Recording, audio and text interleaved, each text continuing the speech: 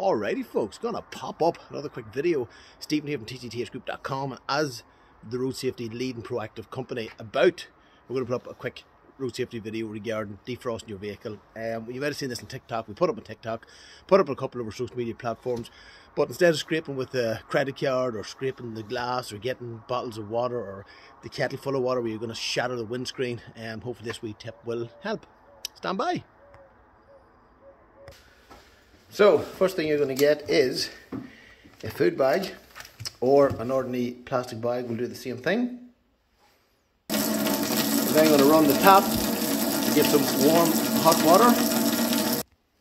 So the next thing to do is we're going to fill the bag or half fill the bag with hot, warm or hot water. And then using your bag of hot water, you simply rub it up and down. The windscreen of the car. Nice and carefully.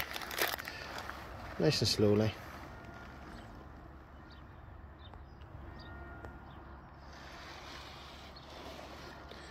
Like so.